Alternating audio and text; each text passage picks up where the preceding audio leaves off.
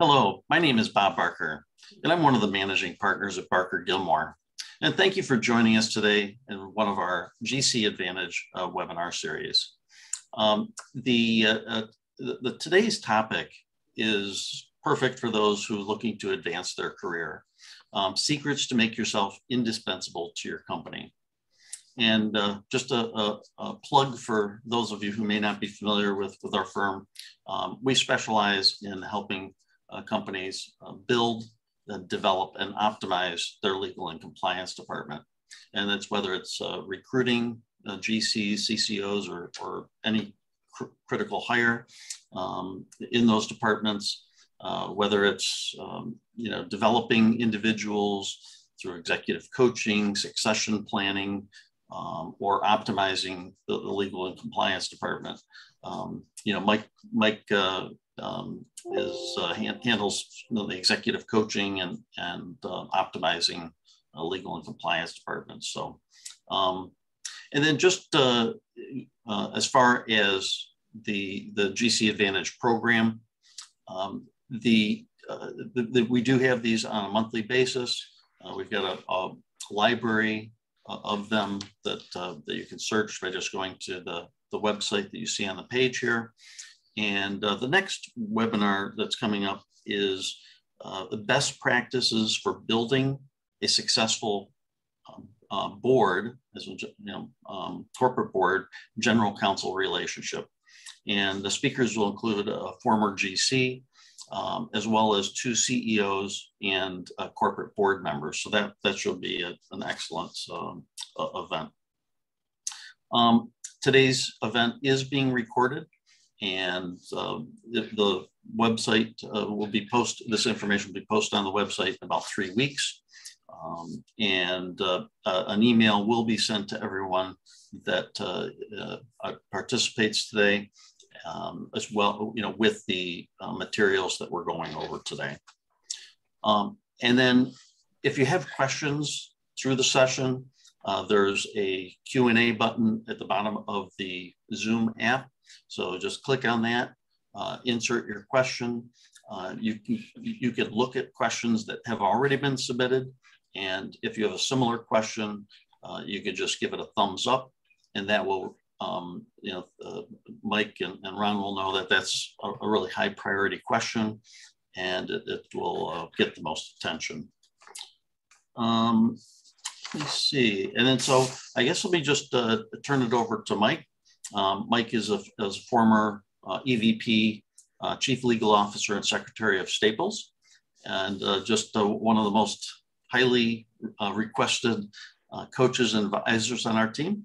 And I think you'll understand why when you get a chance to meet Mike here. Mike, Thank I'll you. turn it over to you. Thank you, Bob. And I hope everyone can hear me okay. Um, and good afternoon, good morning. And uh, my name is Mike Williams. I'm a senior advisor, as Bob said. I started practicing law shortly after the earth cooled. And uh, I was in private practice in Los Angeles. And then I joined one of my clients, Sony Electronics, as its general counsel. And then from there, I went on and became the general counsel and EVP at Staples. So I've seen quite a bit of my time and one of the things we're going to do today is share some of those secrets that we've observed. And that leads me to the, my fellow panelist and former colleague, Ron Wassinger, who is the general counsel at LG Electronics USA. Ron? Well, good morning and good afternoon, everyone. Uh, thank you for joining. Uh, like Mike said, I'm general counsel for LG Electronics USA. Uh, we're the company that sells and markets all the LG consumer products you might be aware of, refrigerators, televisions, etc. Uh, I, I started a long time ago now uh, practicing law as well, not as long ago as Mike. Uh, but originally, the for, uh, dinosaurs roamed the earth when you were practicing, Ron. but I uh, started in doing commercial litigation with uh, law firms in Tulsa and Houston. Went to law school at the University of Texas. It's a long story, but at about 2000, I made the move to in-house, working for Sony Electronics, and I had the honor to be there for about eight, a little a little under 19 years. About eight of those, uh, Mike Williams was my boss and had the pleasure to work with him when he was general counsel of Sony Electronics. Um, I, the last, my about eight last years there, I was deputy general counsel And then I had the great honor and opportunity to come work here at LG uh, to serve as the general counsel for LG Electronics. And I'm very excited to be here today. Well, thank you, Ron. And I want to talk to everyone for a minute, and that's a little bit of a, a bait and switch on our title here. We use the term secrets to make yourself indispensable to your company. But when I see the word indispensable, I'm often reminded of what Charles de Gaulle once said in terms of uh, the graveyards are full of indispensable men. And I think the minute you start thinking yourself as indispensable, you have the wrong mindset. I always had to remind myself when I was at Staples or at Sony that if I get hit by a bus the next day, all the stores at Staples would open. No one would shut down, even if I won the lottery uh, and I didn't show up for work. So I think what we have to think about is not being indispensable, but more importantly, is how to be um, valuable. That's the key, I think, for all of this in what we're going to talk about today. So instead of referring to ourselves as indispensable, I think we need to think of ourselves as how to make yourself more valuable. And that's what Ron and I are going to share with you what we've observed over the years uh, in our respective companies. So with that in mind, like any good assignment that we start with, it's always going to be an assessment. Where are we and where do we need to go? So we're going to first start off talking about doing an internal assessment and then thinking about an external assessment, how people view you in the value creation. So of course, you have to be honest with yourself uh, when you're doing an assessment. And that's sometimes hard to do, but you can do it. Um, and one person I know that is honest with themselves, uh, and that's Ron. And so, Ron, how would you do the assessment? How do you, what, how do you think about it? Well, I try to do it, and people tell me sometimes I'm a little too hard on myself, but uh, and maybe that may or may not be the case. But certainly, you need to be honest with yourself and then do an analysis. And by the way, I want to add this is really hard because when you work in house, where there's constant management changes, you're needing to do this all the time. And you may be valuable and have a perception and an assessment that you're valuable at one point, and then the whole management structure or key structure may change and you need to start all over. So this is an ongoing thing. It's not a one-time deal, um, but certainly you need to uh, do an assessment of yourself. So what are your strengths? And an, and an honest assessment of what your weak, weaknesses are. I know HR doesn't necessarily like that job, um, um, term, but it's important to to to and it, we all have weaknesses and if we're going through and we think we don't have any then that's kind of a red flag and maybe we need to assess ourselves a little better um, we'll talk a little further about what our job is as an in-house counsel um, and there's some slides to talk about that further but understanding what our job is and what our role is or what our purpose is is, is an important part of conducting that assessment. assessment. Certainly, we are here not to just be lawyers and to, um, when you work in in-house counsel, your, our role is to help the business succeed as a sustainable business for the future. Um, not to fight over what happened in the past or to put up roadblocks, but to help the business to succeed uh, and how to do it in a sustainable way. And so when you do the assessment of yourself, of your strengths and your weaknesses, how, what are my, how do my strengths assist us to obtain this purpose? Right. Because uh, you'll be valuable if you can obtain this, if you can focus on the purpose of helping the business grow in a sustainable way. And I always like to say, and minimizing legal risks. You never eliminate legal risks, but how to do it in a way that minimizes the legal risks that exist. And I think the um, key, Ron, I we've both observed over our careers is that everyone knows their job, right? To provide legal advice and guidance to the business unit so it can accomplish its goal. But it's those in-house lawyers who understand that they also have a purpose to build this sustainable business for the future. And when you exude that purpose, when you operate with that purpose in mind, you're transmitting the value proposition to your business people. And the reason I use valuable to your company is because companies don't get rid of valuable assets. And that's the key here. We want to make sure that the legal department and ourselves are viewed and perceived, and we operate with a value in mind. And you can say, well, Mike, that's great. I'm trying to be honest with myself, but how do you verify your analysis? You can do 360 surveys, you can do employment engagement surveys, you can hire an advisor to help you do your analysis. Uh, these are tools that are all online or companies that do this. So it's worthwhile if you think you need to do this now and then to see to yourself, what are my weaknesses? What are my strengths? Where are the opportunities for improvement? Now, along with your own internal assessment is the external one. That is how people look at you and are you projecting the value proposition that you should be, or do they understand that you have value to the company? So the first thing, I'll have Ron talk about this, and that's team play. Certainly, being a view, perceived, uh, viewed as a team player, and being a team player is is a critical role when you work in a in an organization, whether it's a small company or a large multinational company.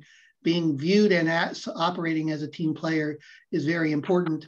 Um, someone who people want to come to that, that will attract um, uh, a desire to work on projects.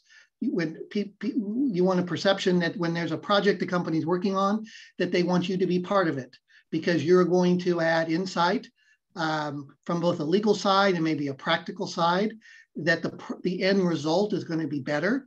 Um, and so I try to develop that also with members of my team, uh, my team, that we're, we're all viewed as a team player in that respect. You don't want to be viewed as moving to the next slide as royalty. Sometimes lawyers uh, in-house, they want to like sit in their office and people will come to them and they'll dispense advice. Um, that was Mike after he left Sony. That was, uh, I, I, can't yeah. comment. I can't comment on what it was like at Staples. I think that's where that picture was taken. Uh, but you don't want to be where people are just coming up to the legal office for exalted assistance and you're going to dispense some some some benefits upon them. Uh, that that's not going to work. Being willing to get down and dirty and work and understand how the company operates, um, right. how they uh, what what the business is like. Um, you know, I, I believe you bec- you build a team, and you're viewed as a team player by working on challenging projects um, I suppose you know sometimes you'll do team roles where you um, you know play Twister or something, and those are nice. But I've found that the best way to develop a team and, and to be viewed as a team player is, is to work on projects and work on challenging projects. Right. Um, and also ask yeah. yourself, Ron, you know, is your door open or closed? Right. Do people and ask yourself, the people in the audience, do people in your department come to you and ask you for your opinion, your input? So you are approachable. If they're not talking to you at all, then maybe you are being viewed as royalty. And maybe that's something that you need to focus on. Uh, there are also some other good qualities that we can talk as well. Next one is tough problems. You know, I just noticed that you have a Kansas Jayhawk um, Kansas State picture. I didn't pick up on that until just now, Mike. Uh, certainly, I think one. This is my my mantra, and I always talk about this with members of our department, is we need to be willing to tackle tough, tough problems. You're going to be valued by your management and by your clients if you are driving towards the problems, not running away from them and, and trying to push them off on someone else. And there are, and when you work in-house, there are tons of opportunities. There are going to be so many opportunities, you can't do them all. So you're going to have to pick and choose sometimes and be selective certainly, you know, talking with your management, your CEO, you're going to know what his priorities are. And you think about well, what are the problems? What are the challenging projects that are important to him? And you want to gr- move towards them and be, uh, be a support and work on them.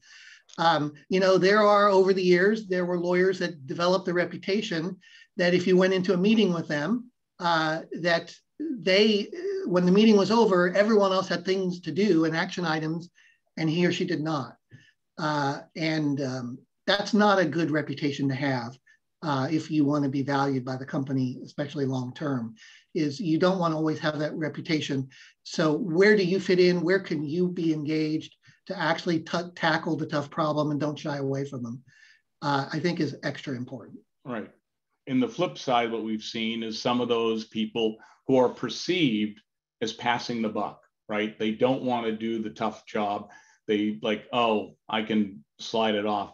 And if you're perceived as just passing it along to someone else's problem, like that's not my job, that's not my problem, and your client is asking you to handle that tough problem, you don't want to be viewed as passing the buck.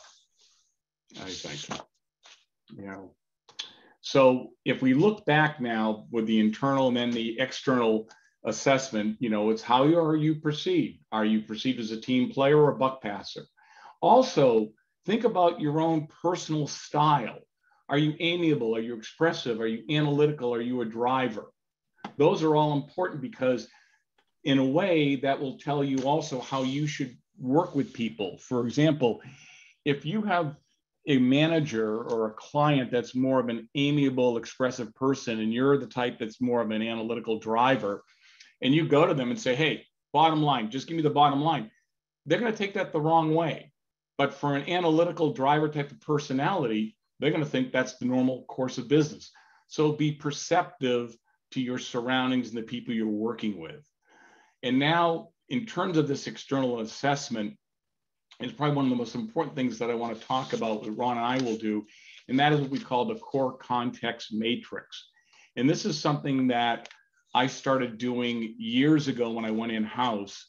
And that is looking at your company and what functions that your company performs are core to it.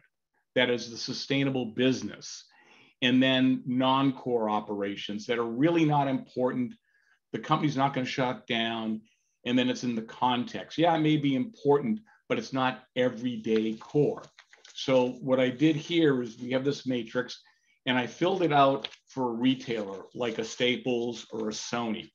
Now, what's core to a retailer? Merchandising, marketing, advertising. Mean, let's face it, retailers, very simple. They buy stuff and they turn around and sell it. All right. That's the essence of merchandising. You have to market it, you have to advertise it. Those legal items, those legal issues surrounding those should be core to your business. If you're running a law department for retail, you want to have attorneys who are competent and qualified and can give value quickly to the business on those core essential items. Some, depending upon how big your company is, you may have real estate if you're in a growth mode. You know, that one time Staples was opening stores one a day. So real estate was important. But then later on, that change. Manufacturing, like Ron's company, we'll talk in a minute, they're more manufacturing than like a retailer like a Staples, although they have some branded products. And then securities. Well, it's core if you're a publicly traded company. It's not core if you're privately held and you're owned by some hedge fund or private equity interests.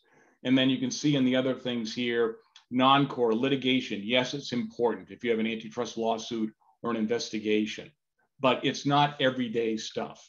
And uh, now, if I was an insurance company, litigation, coverage litigation would be core, but not for a retailer. Um, and then the rest is self explanatory. No one's going to go out of business if you have an EEOC charge. You have to respond to it. Or employment litigation. One wrongful term case is not going to put the company out of business. Service agreements my favorite example was a $250,000 uh, contract for an end cap at a retail store. Really, if the contract's not perfect, no one's going to die. It's not going to stop your operations. Uh, Ron, given your op, where would you might change some of these things because depending upon your ops. Yeah. So for one, you know, one of our core roles is we sell to resellers such as Staples, Best Buy, uh, Home Depot, et cetera. So certainly sales and distribution, probably the top core um, competency that I would put in our upper right box, which is a little, little different than, of course, Staples is. Manufacturing, you know, we have factories in Alabama and Tennessee, and then, of course, working with factories in Asia as well. Certainly manufacturing is an important part. Uh, related to that is selling products would be, for example, um, uh, monitoring for Consumer Product Safety Commission and compliance with safety laws uh, because that can have dramatic impact to your company long short and long term if you aren't don't properly comply with those laws. You know employment counseling you know unlike staple or staples who has thousands of people that interact with customers all the time i don't know if i'd put employment counseling in the upper right quadrant maybe down a little further although that's important for every company. But certainly i would um, uh, include manufacturing. We would remove securities, of course, because we're just a wholly owned subsidiary of a of a Korean multinational. But sales and distribution and all of the issues that go into those relations are is a core function that would be number one on my list. Right. So if we go back to this external observation or an assessment we're doing in the core context matrix for your department, one, if you're running the department, you should be asking yourself, do I have the right resources in the Northeast quadrant, right? So I am giving value to my organization. And as an individual, you should be asking yourself, am I working in the Northeast quadrant? Okay. Now, I'm here in San Diego, and it's great here to be in the Southwest this time of year, but you want to be in the Northeast, even though the weather's crappy. You want to be there because that's where the action is, that's core. And that means for your career, you, I mean, I was a trial attorney in private practice, but I moved my practice from litigation and all those skills that I had into corporate business judgment. That's where I could add the value. Uh, and similarly, think to yourself in your own career path, you know, am I in the right place in the right box, or should I be trying to do something to move to that Northeast quadrant so I am projecting and I am more valuable to my company? And again, how do you validate your assessment? Again, you could ask for your mentor, an advisor. You can do 360s. I mean, and also some of it's just very obvious to yourself. Look at your company. What do you do for a business? What is your purpose there? And are you in the right location? So yeah, I would say you can always identify. There's going to be certain business executives that you are will will be able to identify that you value their opinions, uh, and they'll give you honest assessments. You don't want um, and it's good to have those ongoing communications and uh, continue to talk with them because you'll get, you know, you can do formal 360s, but you can also constantly be doing um, uh, kind and, of informal as well. Right. And don't be afraid or don't be reticent about asking your boss. So, yes, you're doing litigation or employment counseling, saying, hey, um, could I work on a marketing project? Could I start doing vendor purchase agreements? I mean, you know, it's uh, one size fits one, but ask because no one's going to come and wave a magic wand saying, oh, yeah, you know, I see and you, you've been doing a lot of this. I want to help you move you up. You know, look after yourself a little bit here and ask if you want to move around. It's not going to hurt in because it also demonstrates that you want to add value to your organization. Now, after we do all these assessments and we talk about internal and external factors, there are certain qualities that Ron and I have observed that are always present in valuable lawyers wherever we work. And I'm talking about private practice, in house, uh, or wherever. And the first one that I want to talk about, and that's what I call selflessness. You're concerned more with the needs and wishes of others than with your own. You're acting with less concern for yourself than for the success of the joint activity. And I always think of, and my mantra here is I think of Spock. Remember that great 1982 movie, The Wrath of Khan? I mean, it was a classic. It should have gotten an Academy Award. I don't know why it didn't. Maybe there are a lot of Star Trek haters out there. Who knows? But remember when Spock went into the reactor room knowing he would die, but he said the needs of the many outweigh the needs of the few or the one, right? He was willing to put his own personal needs aside and work for the good of the company or for the crew. And that's what I think of in selflessness. I'm not asking you to throw yourself on the sword every day of the week, but you really do trust people who you know have the needs and wishes of the company, of the department above their own selfish interest. Then that's the selflessness that I want to think about. So one is selflessness. The next one, Ron. Second, um, I think which we recommend would be courage, and this is a hard one, um, but I think it's extra important for in-house counsel into doing the ability to do the things that frightens you in the face of danger. Uh, you're worried about it, how you will be perceived, how you know, um, being able to resolve matters that are um, where you face uncertainty. You know, at a base level, we all operate under rules of professional conduct. that our client is the company, not individuals. Okay. But we all have, but we work with people. We don't work with this amorphous company. We work with people day to day, and we want to be liked. We want to we want to get good feedback from them. We want to make them happy.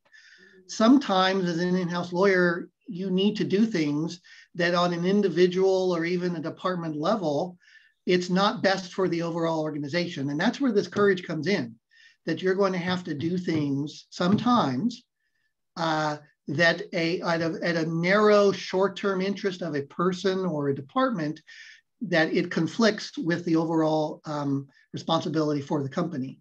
But that's our role as in-house counsel. Uh, my experience is, is that if you do that and are willing to do that, the good managers, the good executives, they recognize that. And then in the long term, you'll be the better for it. Kind of goes to tackling hard problems is when you tackle hard problems, you have to have some courage. You need to be willing to, you know, stir things up a bit. Um, and it's certainly important. And again, the, and you know, at its core, our rules of professional responsibility require that we have it. And it's much different than I think outside counsel in, in that respect in many ways. And I, I think it's super important and it's something that's very difficult um, for us to manage. One, one example I will give on this is, is I, I've tried to do this and I talk with people in our department is there's going to be times where we need to ask someone to do something that's better for the company, uh, but they're not maybe personally not something they that they like. But there's going to be all kinds of opportunities where you can work where you're fully aligned. Um, there's a contract, an important contract that they need to get done. And I like to look for those opportunities where I can demonstrate that I'm, I'm, I'm, or the department is working hard for them and wants to help them succeed. And they under they, and they develop that. And then when the time comes to ask them to do something that's opposed to their narrow temp- short-term interest, they will remember that.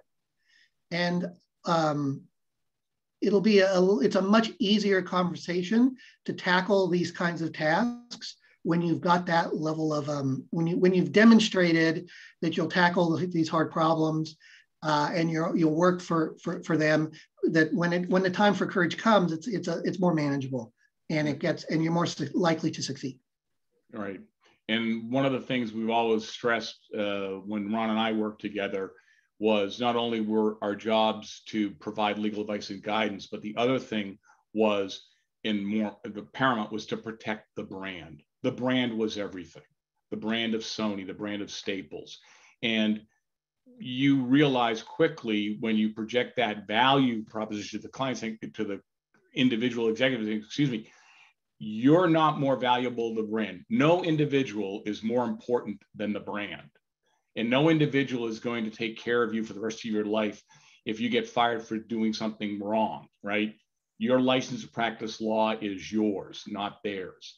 And, um, you know, the brand, we live it every day. And I mean, it's right behind Ron, I can see the, the LG way. And if you have a company that will back you, then knowing that when you do take a courageous stand on a legal issue, you will have the backing of the company. And executive, good executives know that. Bad executives don't.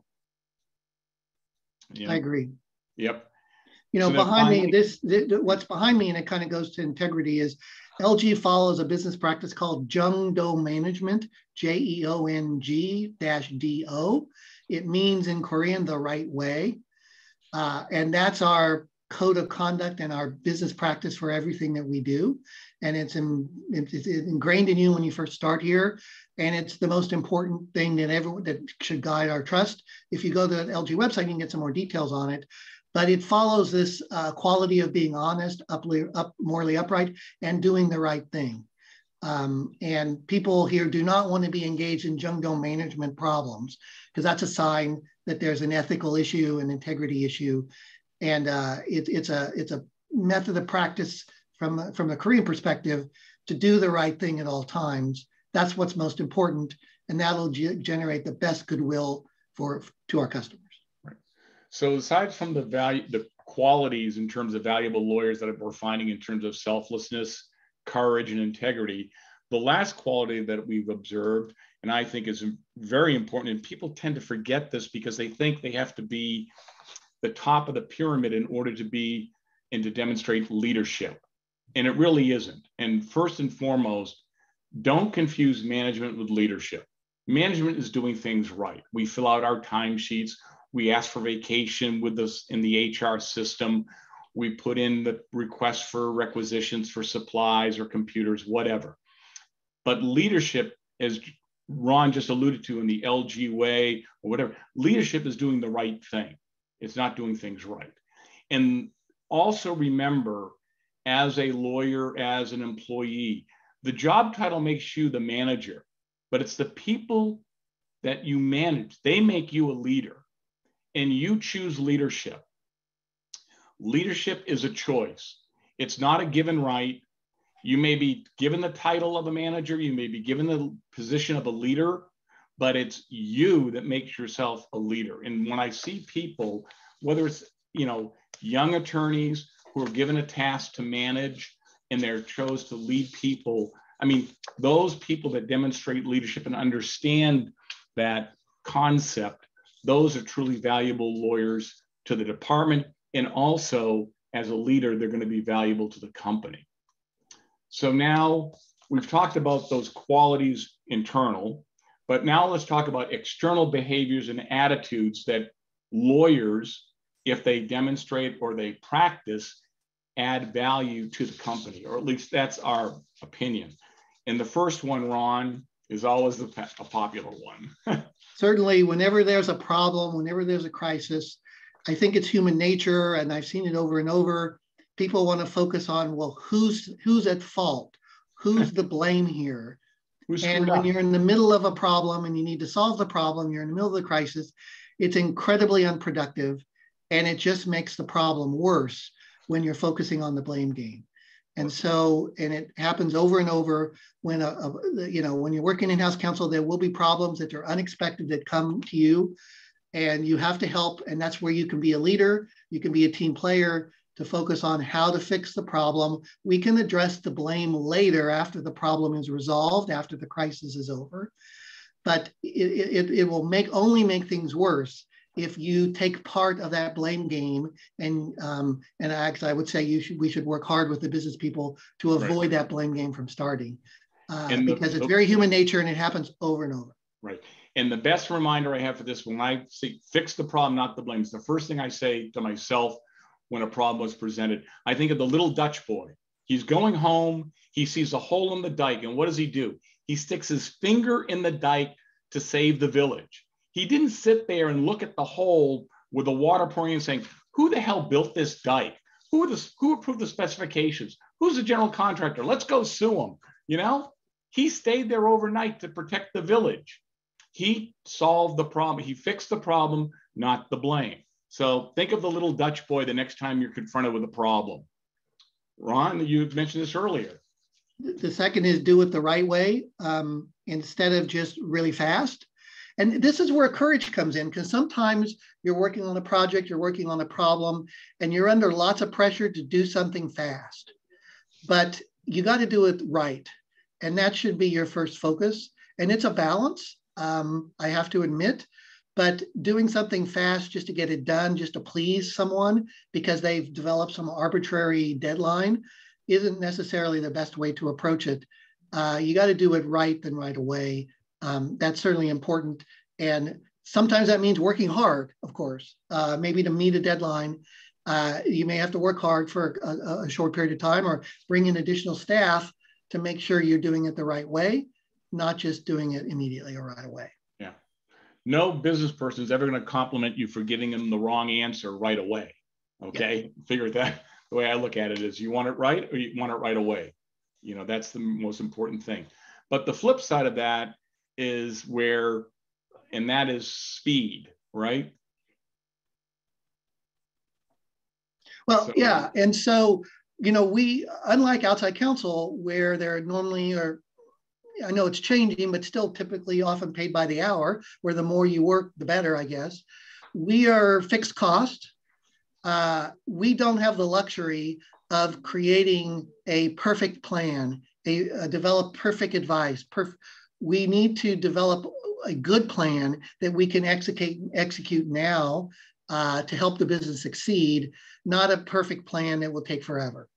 Right. And that's a balance with number two. Let's face it, right? You, we want to do it the right way, but you don't you don't have forever to do do it the right way. Um, and so some and and you know I always talk about with this outside counsel. Some outside counsel you'll go to, and you don't want to do this if you're in-house counsel, where a client will come to you with a problem, and then you will just tell them all of the issues, all of the concerns, and then maybe throw it back on them on what to do, let them decide, or raise so many issues that it appears you're never going to be able to finish the project. Uh, you need to be able to think through what are the core risks, the things that are most important to the company, and focus on those core risks of what really matters, and not get not get um, buried in the details of trying to make something perfect. So often when I'm doing this, where I'm trying to do a good plan today, is what really matters. You got to get a contract done, and there's a red line that comes back because they use outside counsel, and it's half of it's red. What really? There's four or five things that really, really matter to you and to the company. Get consensus with your business people, and come up with a plan that that focuses on that, not making everything perfect. Right because don't let perfection be the enemy of progress because business people want to get stuff done. And that's the that's right. And if you're coming from private practice, let's face it, guys. In private practice, we operated with the fear of malpractice. You didn't want to screw up. You checked everything out. Okay. In house, we don't have to do that. We don't have to worry about it. And so, you know, maybe another flip side of that, Ron, is about being proactive. Uh, certainly, it's it's proactive. It kind of goes to my point of being of uh, identifying problems and opportunities where you can solve things for the company. Certainly, there's a proactiveness to that. By being proactive, you're going to get credit from the management people when you're identifying instead of just constantly being reactive. Now, it's hard when you have limited resources and you're being constantly bombarded with requests to do A, B, and C to also be proactive. But no matter what, you need to step back some time and looking for opportunities where you can be proactive, think ahead, think around what's what's around the corner. Where what where what are we doing something that if if if we if we're not more buttoned up from a legal compliance side, it could have a severe impact on the brand. Um, that that's super important. Right. And then one one practice tip I'd share with the group, and that is if you get one or two decent email updates from either outside law firms or vendors about what's going on or trends in your industry that can help you look around the corners. For example even though i'm not actively in house any longer there's the universal proxy uh, rule that's come out with the ballot. So you know people running for board candidates are going to be in the same ballot as your incumbents. Well that presents a whole host of issues that if you want to get ahead of and be proactive in talking to your business people about it hey the world's changing and we have to think about how we're going to position our story or whatever, but being thinking ahead. Well, and then, I would just add another example. Uh, the FTC, for example, is very good at communicating what it cares about. Often you'll go to they'll go to a lot of marketing conferences and they might even give their top 10 things that their you know FTC staff will do. Uh, you know, right now the FTC cares very much about marketing claims with health benefits because of COVID. They care about it very deeply and it's something they focus on. So when you work in a, a, sales and marketing company, as an example, it's always good to know what are the top things that the FTC cares about or the state of California Attorney General cares about and focus on those areas to be proactive. Right. And I remember a few years ago, Ron, when you and I were together, it was green claims, eco-friendly claims, right? Uh, about like what companies were saying about their products and whether it was true or not. And that still was, is. I would say it still is. That's one of I yeah. would think that's still in the top yep. ten. Okay. Uh, but certainly health claims have right. moved up to number one. I would say right now. Yeah, and then number five here, and this is something that lawyers tend to forget. But when your client says, "What time is it?" Don't tell them how to build a clock. Efficient communication is the key. Uh, but I did note on the second bullet point, Ron, your comment about uh, if your client's asking for updates, that's a red flag. Yeah, if they're all, you're getting emails, hey, what's going on? What's going on? that's maybe a sign you're not communicating very well. It'd be much better that you update them and they don't need to be asking you for what's the, the situation. Right. Uh, you know, when it comes to legal, that for a particular client, they may have one thing or with your department and it's the most important legal issue that they're working on and maybe in, in their life. And so you don't want to be a situation where they're constantly asking what's going on, what's going on. They feel like you're keeping them in the dark. Um, and sometimes there might be business people that go overboard and ask too much, but generally you want to be updating them, not have them always asking you for updates. Right. And when you have those clients, set the expectations early. Talk to them, saying like, how often do you want to be updated? Like Ron said, you may have a business person who's not sophisticated in terms of legal matters, who thinks this one legal issue they have is the most important thing facing the company when it really isn't but they don't understand that. So you may have to sit down and explain where it is in the scale of uh, importance without demeaning them or the importance of the issue, but at the same time saying, look, it, I will give you periodic updates every month or every three weeks or whatever. And if they say, oh no, I want to know every week, then talk it through. But more importantly, or just as important, is what I learned, and I know this will be lost on some members of our audience, because I'm dating myself when I'd say, How would Laverne explain this to Shirley from the old TV show? And that, as I learned as a trial lawyer, don't talk like a lawyer, talk like a regular person. Now, I'm not saying you have to be pedantic with your business people, but people that speak simply, plainly, clearly, concisely are the ones that are projecting value. I mean, I'm always amazed when I meet lawyers, they'll write down prior to or they'll say it even to me, you know, they'll write down prior to this, prior to that. I'm thinking, like, you know what? You go to a restaurant and you're asked by the waiter, well, you know, what would you like to have? Well, the you don't say, well, prior to my entree, I'll have a salad. No, you think before. It's simple English. Just but people tend to forget, I gotta sound legalese. You don't have to.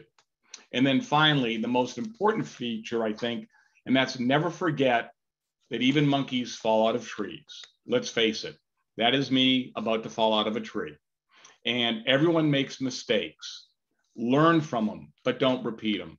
I wanted to make sure that everyone in my department, when I first started at Staples and at Sony, you're going to make mistakes. Nothing to be ashamed about. Okay. Everyone makes them. As a matter of fact, the person who taught me this was Akio Morita, the co founder of Sony. I made a mistake as probably a fifth or sixth year associate with the Kaicho-san, Mr. Morita. I made it. I made an error, and I was mortified. I was, and he just looked at me and said, "Mike-san, even monkeys fall out of trees." So it's like if he can, you know, understand that and do all the great things he did, I certainly can as an in-house lawyer. But again, let's learn from them and don't repeat them. So those are sort of the six valuable uh, behaviors or attitudes that I and Ron have observed over the years where lawyers that do these things really do add value to the organization. And another test that we did, and I'll have Ron walk you through it, and that's the Monday self test. We used to call it the Friday self test. But in that one, you could do it Monday, Friday, weekly, regularly, I think is most important. Uh, you know, ask yourself on a regular basis um, what can I do this week for example, to better understand my client's products or services. That's one of the great things of working in house is that you can become part of belonging to the client's products or services. You're not just some hired gun that's that, that's involved just to get, get a paycheck. That's one of the great things about being in house. And so you need to take advantage of it, understand the client's products and the services, uh, understand the client or the company's strategies, goals, and objectives. That requires work. That requires being proactive. To learn those things um, better know what your clients, their challenges are and their idiosyncrasies.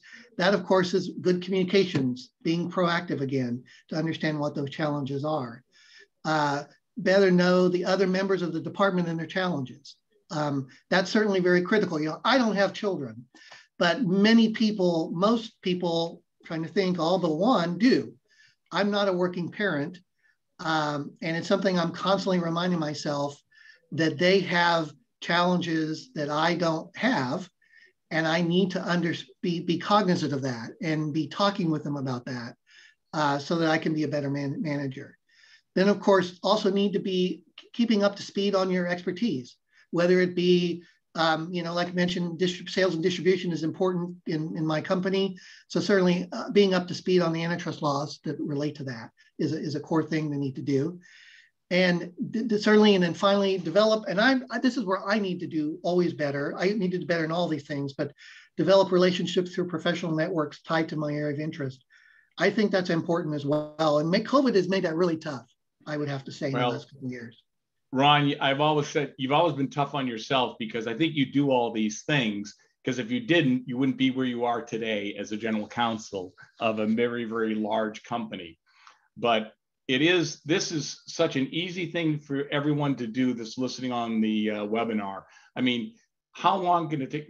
Call up and ask one of your department heads in the, you know, the market, the head of marketing, head of sales. Hey, can we grab lunch, cup of coffee? Uh, just to find out what's like, you know, what are our challenges? Oh, logistics. We're going to outsource the last mile because we need to lower our costs. Well, that may be a challenge. Well, okay, how's that going to be a difficult? Understand so that may make you a better informed executive and also align you with the purpose of your job, which is to create and support a sustainable business for the company. And just as proof in the pudding, the self trust is for real. That's uh, the door jamb at my office at Staples, where in those days I call it a Friday self test. I printed this out and I put it on laminated cards. I gave it to everyone in the department. I did it at Staples, I did it at Sony, just to remind myself as I went out the door, you know, what did I do this week? Or what am I going to do this week to help project value and to understand and be a better in house lawyer, you know? So that's for something. Now, we're going to talk about because so far ron and i have been discussing the tips or uh, you know tips and observations secrets if you will on individuals how to create value or project value for your organization as an individual. Now i want to address those that are running functions running departments running operations about creating a valuable function. And the first thing is to focus on your client and work backwards. Think about this. It really means focus on your client, focus on the CMO, the head of sales, the head of retail. Focus on them and work backwards. And the person who really I mean, brought this to a forefront, believe it or not, and for retailers, I hate to quote Jeff Bezos because uh, that way it looks, I think he's more jacked these days than that, probably because he was working then. But the most important thing they did was to obsessively focus on the customer. Their job every day was to make the most, you know, every important aspect of the customer life experience a little bit better.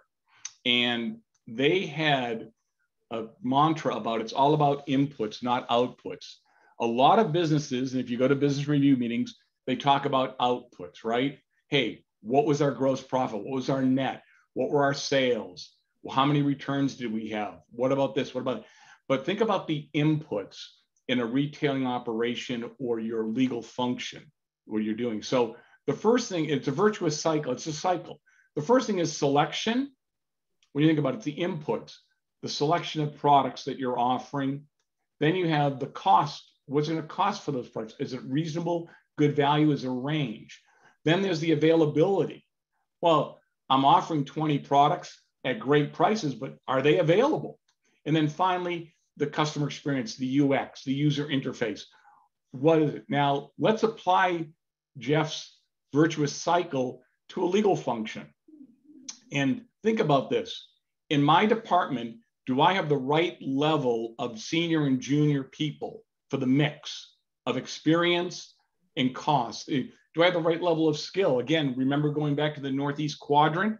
Does Ron have the right level of skill and expertise for the selection? So when people come to his department, they know that they can pick and choose or they have the right selection. And then look at the cost. Are you running a function that's within, let's say, the fleet average? I mean, there's data out there that can tell you how many lawyers there are per billion dollars of revenue or million dollars of revenue in different industry sectors, right? You can look at marketing studies or salary surveys to tell you that an entry level lawyer, the average in the Northeast is X dollars. Are you X plus or X minus? Because your management will look at how you're running your function in your budget.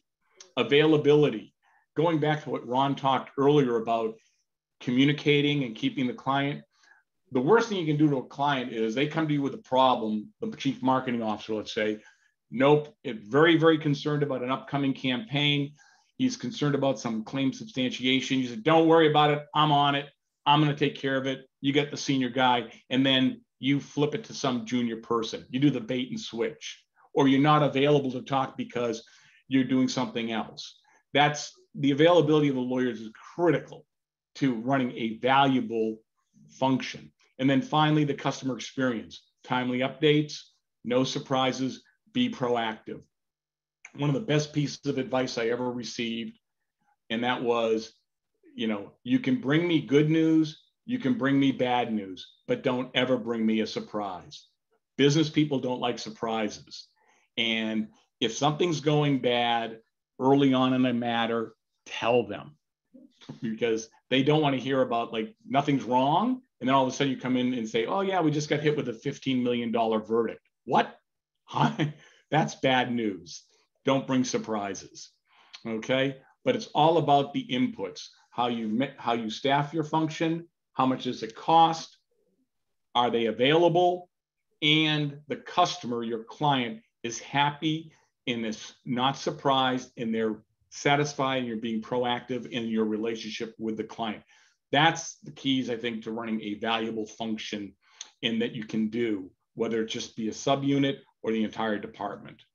So then final tips for success, Ron? Yeah, just a couple here. As Mike said, one thing is to grow big ears. Uh, and just a couple examples of what that, we already talked about from a legal compliance side, knowing what the FTC cares about, right? That's important. Those are big ears.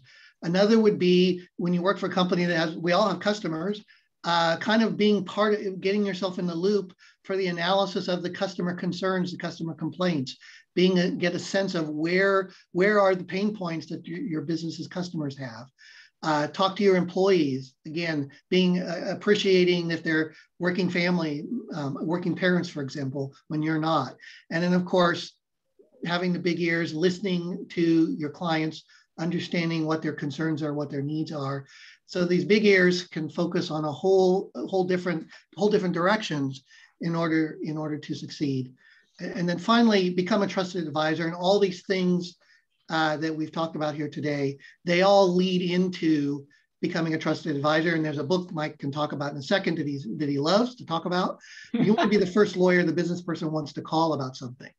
Um, and uh, if you are a trusted advisor, if you have courage, if you have integrity, if you go to, if you go want to want to go towards the problems and the challenges and not shy away, uh, they're going to come to you for help, and you're going to become a trusted advisor, and then certainly you'll be more valuable to the company without question.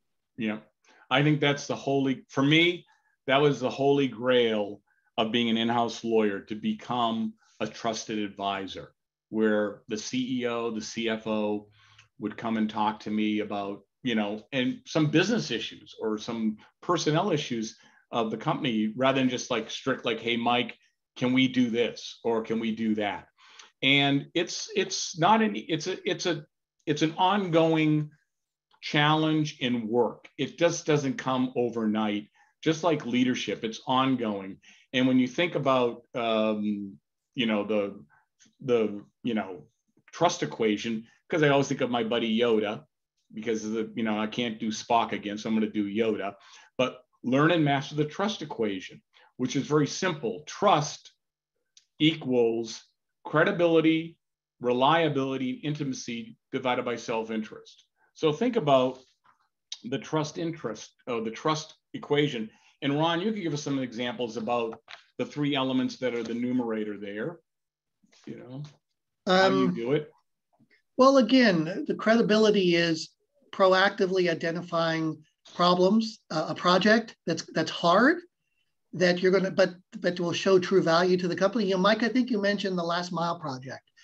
Um, you know, that's a. I've been involved in the last mile project. That's a hard project um, as opposed to lawyers that just want to do NDAs and services agreements. um, being part of a team to implement a good last mile project. There's contracts that are part of that, but doing things like that and, and running towards them, you're going to build a lot of credibility.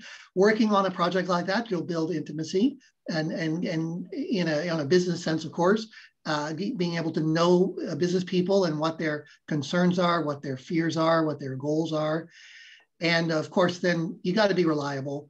Um, communication is important to that, being proactive in how you communicate so they know you're working on your project. You want to try, you know, a good a good lawyer is you make the client feel like they are they are your only client, right? It's hard yep. to do when you have limited, but if you can accomplish that, you're going to be viewed as reliable by that person. Um, right. And it, it's it's an ongoing thing that's very hard to do. And when you work in an organization like mine, that's every year there's reorgs you got to do this. You have to build this constantly because uh, there's going to be new people coming in, and you you can't rest on your laurels. Right, but I think intimacy is very important to know the client and know their business, and uh, focusing like what we talked about earlier, growing big ears, uh, active listening. That's such a critical factor uh, for in-house lawyers to to exhibit in order to show that value. But I remember I received one of the nicest compliments from a general counsel when I was in private. He said, Mike, every time I call you, you talk to me, you know my cases. It's as if I'm the only client you have. I had more than him or it, I should say the company, but that's what I also would say is that it's it's a skill that you have you have to work at, but you can do it. It's not you know difficult to get that trust equation going and to work it. And then finally, I think what, you know, and I'll say this uh, because I don't make this stuff up, and that is uh, consider the following. Here's like your homework assignment, people, if you want to try to create some more value or project it. Read The Trusted Advisor. I'd also recommend for all people running functions or about to take over a new function, read the book It's Your Ship. All right. Uh, great book. And to tell you that everyone in the department received those two books from me, and then everyone at Staples received it. And then when everyone joined, a new lawyer came in, their first meeting with me, I'd give them two books. One was The Trusted Advisor, the other one's It's Your Ship. All right. Uh, How to Win Friends and Influence People by Dale Carnegie. I know he was probably very popular in the 1930s, but his teachings are very important. In fact, uh, we did Dale Carnegie courses because we're a professional services organization. We're selling professional services, we're selling advice. And who better to know about sales than Dale Carnegie? And I know Ron can speak because he had to go through it with me. I did have to go through one, yes. Right. I have the book here somewhere. We're yep. kind of in a new building and I haven't fully unpacked yet, but the, the book is here in my office. So. Okay. And then finally, you know, uh, another thing, take a public speaking and presentation course and also a time management course, which we did both at Staples and at Sony. Uh, the reason I say that is because one of the common comments I receive from business people on people who I am advising or coaching is executive presence or presentation skills. Uh, not everyone is born to be a trial lawyer. Not everyone is born to be a natural PowerPointer. All right. But I did find out one truism, at least being in house, is that lawyers, we think in process like Word, right? Like Word documents. We're thinking in Word. The business people, they think in Excel spreadsheet, dollars and cents, facts, figures, percentages. Okay. But where do where does Word and Excel meet? Where? PowerPoint. That's it. Hmm. And so PowerPoint is the key. And every sharp and good executive I observed, they were good at presentation. They knew how to work the room and how to work the slideshow. So absolutely think about that. Um, and then again, I'd say time management. And also, if you're worried about your career or your future, you can also talk to an executive coach or perform an assessment for yourself. Um, and with that, I think now we can go on to uh, the question answer. And let's see. Okay. Oh, here's uh, one question I had. uh, but if you make yourself indispensable, you're not promotable. That's correct. But don't make yourself indispensable. You should be thinking of yourself, I want to be valuable. Valuable assets are promoted, valuable assets are cherished. All right. I've never seen a company get rid of valuable assets. I've seen them get rid of other things, but not valuable assets. So you're absolutely right. Indispensable. They may pigeonhole you in that one little spot because oh, I'm not. I'm. I don't want to move that person. But you project value beyond just that one little area with all these attributes. I think you have a great career path. I, I agree on that 100%. Yeah. I mean, Ron's, Ron's the living example of someone who started out. I mean, uh, he didn't start out in a log cabin, okay, even though he was from the, you know, Texas, all right. But he started out entry level position at Sony and was a contract administration, contract admin, Ron. yeah, I, I I was doing litigation and I hated it. Discovery, you know, and especially commercial litigation, you never go in the courtroom. So I wanted to make the jump over, but I had no skills to work in house. I had never negotiated a contract, and so I um, took a, a, there was a job opportunity in San Diego for a contract administrator because Sony was moving its VAIO business and its digital imaging business to San Diego, and um, uh, I saw the opportunity to work um, with a good person who super impressed me, um, who would have been my supervisor. Uh, and I thought, you know, a great opportunity to learn from him.